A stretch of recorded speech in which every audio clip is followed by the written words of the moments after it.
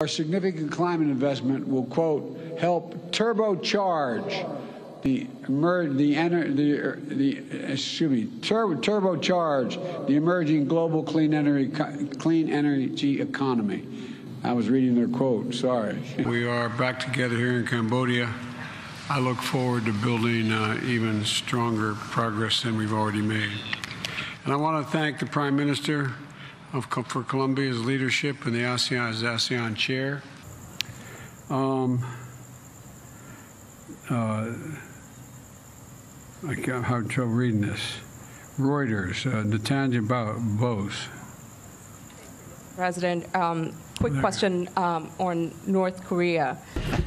His biceps are big as my calves. Look at this. You know, so, there, there's a man. I hope we're on the same side. you know, so he's Russian. I don't care who he is. He's got some real biceps.